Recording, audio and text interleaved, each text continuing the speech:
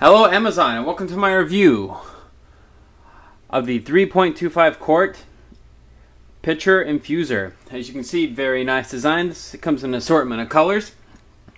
Very sturdy, shatter proof. As I said before, it holds about three and a half quarts of water. You just simply put your fruit into the bottom and as you can see, it does um, it just happens I use berries and so it does have a slight red tint, but the water is red. I'm going to take a clear glass just to show you. Pour a little bit in.